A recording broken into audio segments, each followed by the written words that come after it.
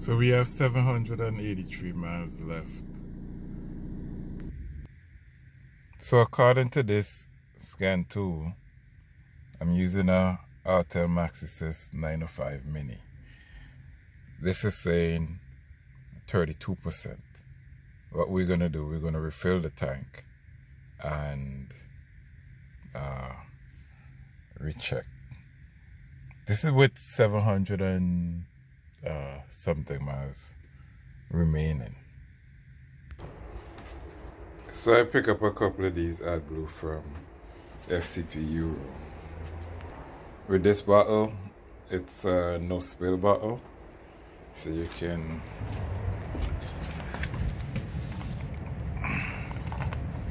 turn this off.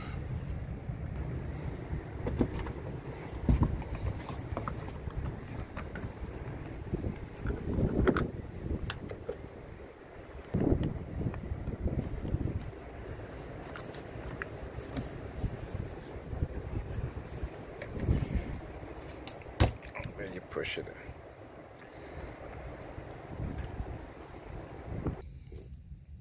So with one half gallon, that put me at 51%.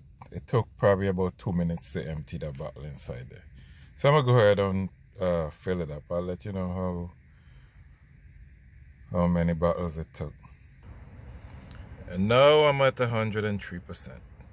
Uh, the the three half gallon jug or one and a half gallon uh, put it at 98% okay so that took uh, the full six bottles which is three gallon. Don't forget to cover your cap now if we look at the okay so now I'm reading on the active tank 103% and the passive tank. It's 35% okay so the warning sign went away. There's no notification here in the dash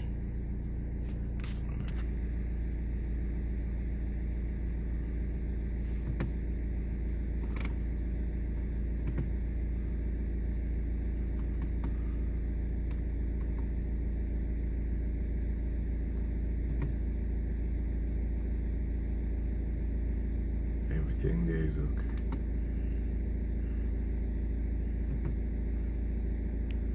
Our service is okay. Now the passive tank is going up. I guess it's gonna take a time and read it out. This is a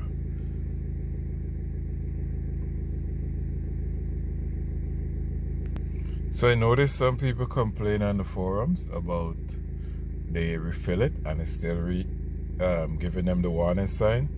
I would say um, this is a car, but on the trucks that I work on, usually the manufacturer tell you, and this used to happen all the time with the drivers and them trucks, is that they run it out of DEF fluid. And when it's completely empty, the some of the truck manufacturers would say refill the tank uh, with the key on. So as you're refilling the tank, it's reading the um, it's reading the level. So I would refill the tank with the key on, at least the first the first uh, gallon or so, and see if that helps. We're gonna test the DEF fluid with a refractometer that's what it looks like. You can get these on uh, probably eBay. I got this off Amazon. I can't remember how much I paid. Probably like 20 bucks, I think. So what you do, you put the fluid here. Let's see.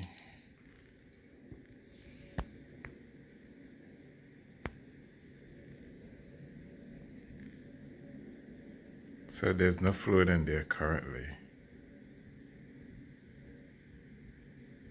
That's what it looks like. We'll put some fluid in there and then we'll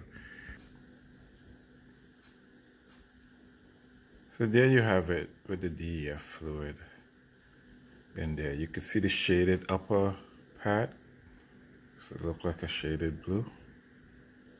And it's just above 32. It should be 32.5%. It's 32.5% urea.